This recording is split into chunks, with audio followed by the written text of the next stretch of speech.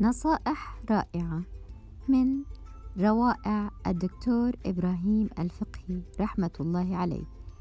لاكتساب شخصية قوية عليك أن تتبع التالي. أولاً استمع أكثر مما تتكلم وأحرص على عدم الإكثار من رواية متاعبك الخاصة.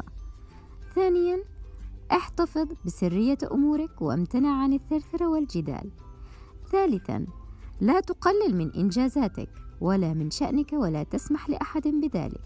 فلا أحد يعرف نفسك أو يعرف قدراتك أكثر منك.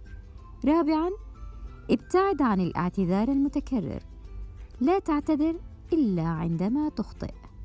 خامساً لا تكن من محبي التأثير في الآخرين. كن على طبيعتك. سادساً خذ أكثر القرارات بنفسك. فلا أحد غيرك يمكنه التفكير عنك. سابعاً قدر قيمة الوقت ولا تضيعه في الإنصات إلى أوهام الكذابين وصراعاتهم. ثامناً توقع الأذى من غيرك وانتظر من الناس من لا يريحك ولا ينصفك. حاول تجاوز الأمور السخيفة فلا تتبع التوافه إلى التافه. تاسعاً حاول دائما الزيادة من ثقافتك ومعلوماتك ولا تكن ضحية لتخلف البعض.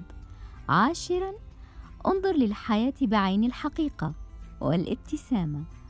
كن مميزا وليس مقلدا فكل شخص له نظرة مختلفة للأشياء. حادي عشر لا تتوسل لشخص ولا تتذلل فكرامة الإنسان لا تقدر بثمن. ثاني عشر تذكر بأن القوة ليست هي التجبر والطغيان بل هي تحقيق العدل. ثالث عشر تستحق العيش بسعادة وتحقيق ما تصبو إليه. رابع عشر لست ملزما بأخذ كل ما يملى عليك. خذ ما ينفعك وما يساعدك على فعل الخير لنفسك ولغيرك. من قناة ساوند كيوب هدى كربوج. أرجو لكم رحلة سمعية ممتعة وأرجو تفعيل الاشتراك والجرس لمتابعة كل جديد.